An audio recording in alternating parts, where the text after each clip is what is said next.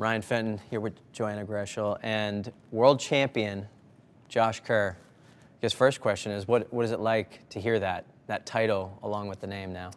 It's it's pretty unbelievable. I think you know the first race I did after Worlds was uh, the Diamond League. Um, I think it was Lausanne or uh, or Zurich, sorry.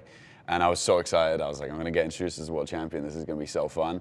And uh, I think it was in Swiss German. And so I, I didn't even get to hear it properly. So I was like, well, that kind of sucks. But uh, no, it's, it, it's an amazing dream come true. And I think, you know, we're finally now at this point where um, I'm good enough to, you know, be called world champion. And I, I did it on the day. And now it's just like, how can we keep that ball rolling and, and you know, exciting stuff in the future. I want to maybe rewind a little bit to you coming to the U.S., kind of starting, I guess, for, for us here in the States, that, that journey where we got to learn who Josh Kerr was. Um, but what, you know, looking back over those years and starting with that journey to get over here, what's, what was that like and, and, and getting that experience? Yeah, it was. It, it's kind of crazy looking back because you know when I was um, when I was growing up in, in, Edinburgh, I was you know I had uh, the likes of Chris O'Hare. He he was in my training group, and then he came went out to the U.S. and I was like, wow. And he used to come back and tell us stories all about it. He's like, look, you get paid like a salary to go to college, and I was like, that's insane. Like that's the that's the coolest thing in the world. And uh, and so from then, I just always dreamt about coming over to the U.S. And I was like, this is going to be the next step to be a professional, so that I can um, try and try and be a world beater. And so, yeah, I was trying to get recruited at 16 years old, um, which is difficult because I left school at 17, and every college coach came back. They're like, "Look, you're a bit young. Just give it a year. Keep in touch. All this stuff." And uh, and then yeah, Joe Franklin was like, "Look, we want you. You win races, and uh, we can develop you." And I was like, "Amazing. That sounds great." I was like, "I have no idea where New Mexico is. I've never really been to the U.S." And I was just like, "Yeah, let's do it." And so yeah, it was just a, an interesting process to even get used to. Like I turned up two weeks early by accident because I looked at the date wrong. Just silly stuff like that. Like I wasn't allowed to sign my own release forms because I was 17. So I had to bring my parents with me, which was the least cool thing you've ever seen in the world coming into college. And then it was just like, I'm here to do a job. And um, and, and that's to, to get better at running and to, to raise the profile for myself to sign a professional contract. And, and that was the reason I was in college and the reason I left college early. So, um, yeah, and then I got to start my journey with Brooks back in 2018. Wow, so this, where you are now as world champion, is that something you've been envisioning since 16, 17? Yeah, I think I've always, um, I don't know if it's it was naive or whatever. I always felt like I had the fundamentals of being good enough to be a world champion. I think um, throughout the whole years um, growing up and in college, I was like, I have a mentality and, and the characteristics of someone that I think is good enough on the big stage. Um, I'm good in big moments, uh, and so it's just like, what can I? How can I find the right home to facilitate that? How can I find the right coach to facilitate that? The right brand, uh, and and be able to kind of put that together. So yeah, it's, it's, always been part of the process. I think it's always been something that has driven me. I, would never felt like I was going to leave the sport without being the best in the world at something, and um, now it's finally you know been and, and happened, you just get real greedy. I think it's like when your first paycheck comes in, you're like, okay, when's the next one coming in? And uh, and so that's I think that's what's really exciting right now in, in, in my life is is we have so much competition coming up. We have the Olympics, and then you know I already have my buy into the World Championships in 2025, and and you know you can ask for a better time um, for you know being at the peak of your career. There's a couple of majors coming up. Is it? Um I mean, you obviously won in college. I think set a collegiate record in college, uh, but I feel like that uh, Tokyo Olympics getting bronze was probably your big yeah. coming out moment to the whole world. Um, how hard was it to follow that in 2022? Yeah, it, it, was really hard. It was just hard after the Olympics. I didn't race anything after the Olympic Games. You know, my agent was phoning me every week before the Olympics, and he was like, "What about this event or this or this?" And I was like, "Ray." never talk to me about after the Olympics, ever. I was like, this is why I'm in this sport. This moment, this date right here is the reason that I do this whole sport. So I will not be discussing any further racing afterwards. and uh, that came with a bit of a cost, which was, you know, I did something that I was proud of. And like having a physical medal is, is, is like something that not a lot of people can say that they've done. So it was like I've climbed this big mountain and I've reached nearly the top and then I've jumped back off and I've gone back down to the bottom for the start of 2022. And I looked back up that mountain, I was like, uh, it seems like a big climb. Uh, and that's kind of what the Olympic hangover is. And I think I had that pretty bad. And um, it just what like the world championship wasn't exciting me that next year. It was just I got myself in a bit of a rut, and uh, you know I feel like the, the the results I got in 2022 was deserving of like some of the things that I did throughout the year in terms of training and you know injuries and like focus and things like that. And and I think that 2022 World Champs was the was the refocusing of like okay you're so like you're you're good enough to be top five in the world in an off year. Think about if you really just you know really honed in and, and um, what you think could be could be possible. So yeah, it was a it was a big defining year for me last year of just like you know even in your bad years you're still reasonably good. So like let's pull this together a little bit. And that's interesting. Just this year, you raced. I guess you had to schedule that ahead of time. You knew you wanted to keep racing after the World Championships. Was that because of that previous experience? Yeah, I think what I like to do, have done in the last couple of years since the Olympics is like I need to gain as much experience in these high level races as I can. Um, before, um, so say 2016 and, and, previous, it was like, you know, the 1500 could be slow, it could be fast, it could be tactical, whatever. And so you had to have your real tactical brain on. And then from 2017 onwards until about 2021, it was like, this is just going to be a, a sprint from the get go. And so tactics aren't really now involved. And then in the last couple of years, what it's been is like, well, everyone can run really fast. So now it's almost tactical again. Uh, and so I just loved being in the experience of like running against the same guys that we running at in, in, a world final or Olympic final. And, and I think those that was the experience afterwards. It was like, okay, well, I can now, you know, I'm, I'm now excited post World Championships. I'm now excited um, post Olympics to, to do all these other events where um, I have the medals now that I'm proud of. And now it's like, what other fun things can we do?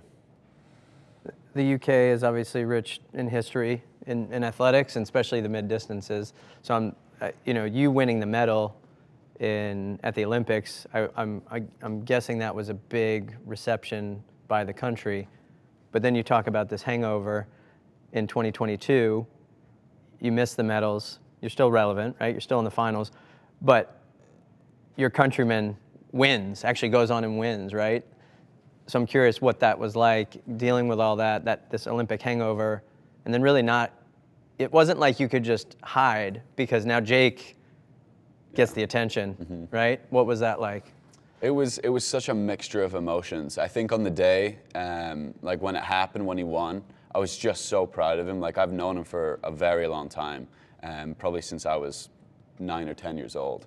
And so he's, uh, you know, he's a good couple of years older than me now. He's three or four years older than me, and uh, um, so so I was able to watch his career flourish, and, and he's obviously had such an amazing career. So watching him become world champion from behind was was a really interesting experience. Where it was like I'm so proud of my friend, but also we're in an individual sport and I really want that as well. And so it was really inspiring of like, you know, if you just do, if you, you know, tick all the boxes and you, you put the work in, uh, you find your moment and you really go for it.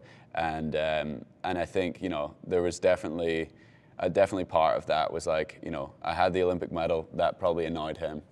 He then wins Worlds, that annoyed me. And then I'll win, I won the Worlds this year, I'm sure he's incredibly annoyed.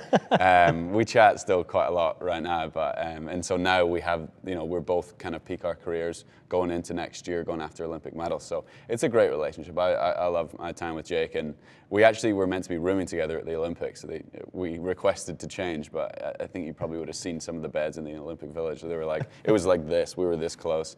We're looking at each other like, is, is this serious? um, it was the same at World Championships. Like I was, I was, I was rooming with Neil. Um, they just like to throw us in together, just have a bit of fun, I guess. I, I was gonna say you, you're you're annoyed with Jake, Jake's annoyed with you, and then there's Neil annoyed yeah, at both just, of you. yeah, she's pissed. Um, but yeah, I think you know, I think w- what we do really well is like in season during the races, we, we we're just out there to try and you know you know, rip chunks out of each other and just really go out and try and win races. And then I go back to the room after Worlds, and there's a note there that says, um, I think I owe you a beer, fella. Give me a text um, from Neil, and, and that's what that's what we're about. Like he was one of the first guys that I, I, saw afterwards after the Worlds, and I was the first guy that went and saw after Worlds. It's like, you know, as soon as we cross that finish tape, like we need to be there for, for those big moments, and and um, and it's, it's it's just fun. Like you know, British middle distance running is coming into an era that um, is massively exciting. And, uh, you know, uh, we're trying to hold British athletics up as much as we can and, uh, you know, get us through some financial struggles. But, Yeah. you know, I think uh, the, their performances are there. So it's, it's pretty exciting. Yeah, I, I, when I think of the, kind of that history, like the Cram, Ovett, Sebco, right? You guys are kind of the big three right now. W- What does that feel like? And do you, do you talk to the old guys and about kind of the, the, the torch you're carrying? Yeah, I think you know I, I've had some great conversations now with, with, with Steve Cram and and um, I know Seb was uh, you know presenting medals and stuff at Worlds and obviously he was there and, and being able to chat to him and you know he invited me to his house but sadly it wasn't Monaco it was California so I was like ah. Um, let me know when it's Monaco, but uh, you know, I think that's that's what it's about. Like, and it's our job as well now. Of like, you know, now these are our experiences. So let's turn back and and really bridge that gap between where we were when we were growing up and then uh, where we are now, and try and keep the success rolling on. What's it like to have a rival like Jakob? Um, I think he brings a lot of eyes onto the sport. He's kind of like the figure of um, you know 1500 meter running in terms of running fast and you know in all these diamond leagues and stuff like that. And so um, it's an interesting dynamic. I think everyone has a different dynamic with him. I, uh, he highly dislikes me. I think so. Um, that's always I, I, you know I enjoy it. I think you know within the UK we're all good friends off the track, and then. Um, I think the 1500 is quite a friendly um, group of guys. I think we all know just how much hard work we have to do to put in to, to be there. But um, yeah, I, again, he brings eyes to the event, and I'm excited to, to you know race him again this year. What do you do um, to work? Do you do any work on the mental side of the sport? Um, I think it's the thing that I work on the most. Um, you know, everyone, a lot of people like to talk about, you know, I put in X much more mileage or this much more hard work or, you know, I, I work scientifically for all this stuff. I think the mental side is something that I'm probably the best in the world at. Um, you know, I work with, with different psychologists and, if, you know, mindfulness coaches and, and like uh, just everything that I can to, to put myself in the in the best position because it's it's a very high pressure environment. If, you know, for an Olympic final or for a World Championship final, when you're sitting in the, the call room and and you know you're there for an hour or so and you're just like sitting as close like this um, before going out and, and trying to define your career on three and a half minutes. It's it's like it's, it's a lot of pressure, but you know I think I thrive in that. I've always kind of enjoyed that pressure side of it. And uh, you know, I think it's something that you can't push too much. Like you can do too much mileage, you can do too much like speed work, but you can't too much do too much stuff for your mental health and, and to be ready to go when it's time. Yeah, it, it's super interesting just because, yeah, as you said, Jakob kind of is the face of men's 1500 running the last few years. But last year, you know, your countryman Jake was able to beat him. This year, it was really fun. Um, I mean, sometimes sometimes it seems like the the field will almost defer to him in a way. I mean, sometimes that's just fitness, or if that is a mental thing. So it was very cool just to watch you race worlds. Um, and you just obviously had a lot of self belief, like in that moment, even though there was this idea that he is the best in the world at this event, and no way anyone's going to beat him. Um, and you know, maybe you did have the benefit of seeing Jake do it last year, so it's like, okay, it is possible. How do you just rise to the occasion at the biggest moment of the year?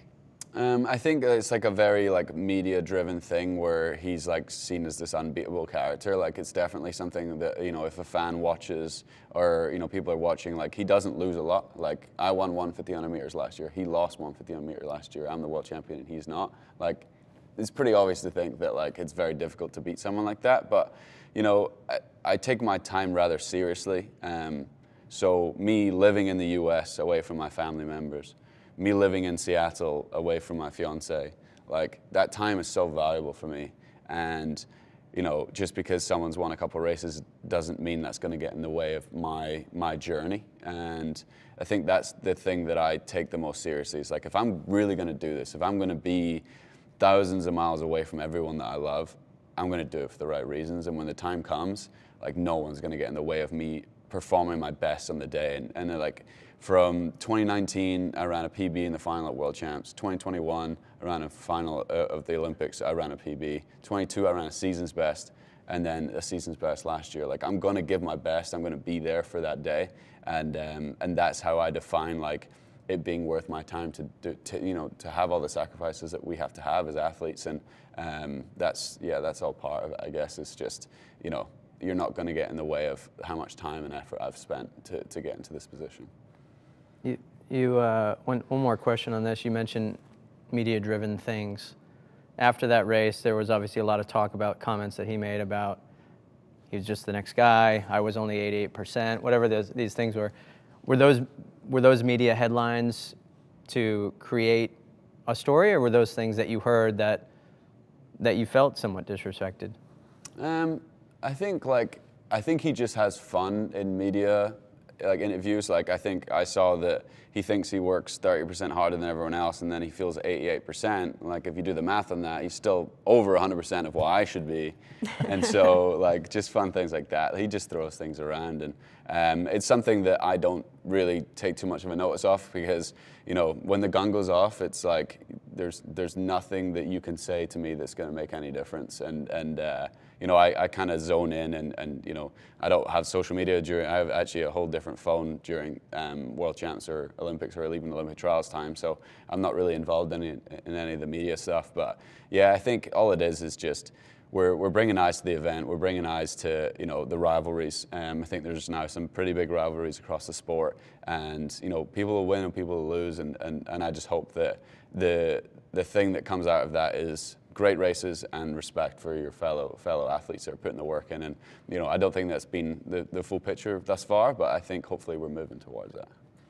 Last thing, looking ahead, 2024, Olympic year in Paris, back in Europe, uh, but also before that, there's a lot of prep.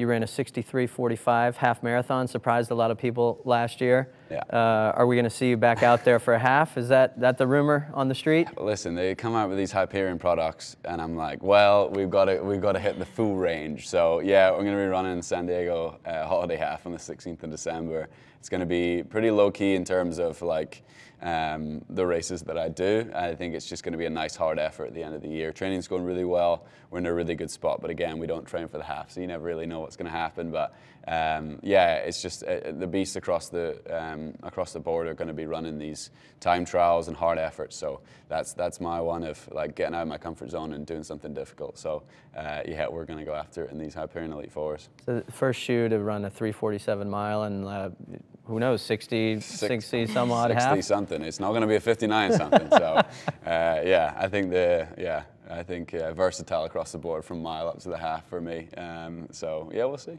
Cool. Josh, thanks so much for being with us, and we wish you all the best this year. Uh, and we're looking forward to Paris 2024. Same. Love it. Thank you.